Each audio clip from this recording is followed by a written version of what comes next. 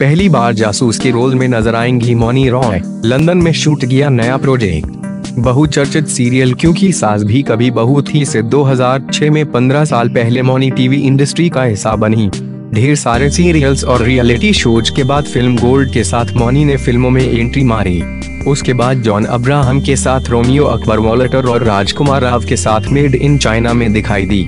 2020 में अब मौनी रॉवेब की दुनिया में देखेंगी। अपनी नई फ़िल्म लंदन कॉन्फिडेंशियल के साथ, जो जी पाँच पर स्ट्रीम होगी। कोरोना वायरस की महामारी से ग्रस्त दुनिया पर आधारित इस थ्रिलर में मौनी बनी है एक रॉ एजेंट उम्मा, जो चाइना की एक साजिश का पर्दाफाश करती है।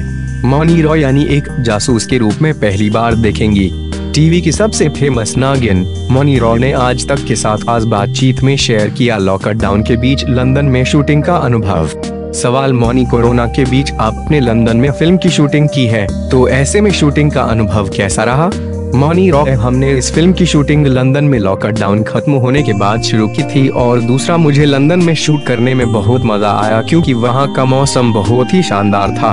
लेकिन एक चीज़ जिसने हमें थोड़ा सा परेशान किया था पर वो ज़रूरी भी था, वो था कोविड टेस्ट, जो हमें वहाँ करवाना पड़ा। लेकिन इस पार्ट को छोड़ दिया जाए तो बाकी शूटिंग का अनुभव शानदार रहा। कोरोना के चलते फ़िल्म के क्रू मेंबर्स अपने अपने चेहरों पर मास्क और फेस शील्ड लगाते थे।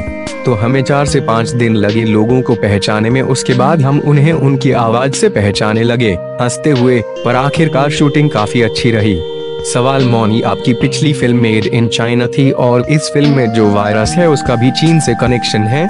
मौनी रॉ हँसते हुए डैश ऐसा मैंने कुछ पढ़कर पसंद नहीं किया है। लेकिन हाँ मैंने सुना है कि चाइना एक बहुत सुंदर देश है तो मुझे जब भी मौका मिलेगा, मैं चाइना घूमने ज़रूर जाऊँगी।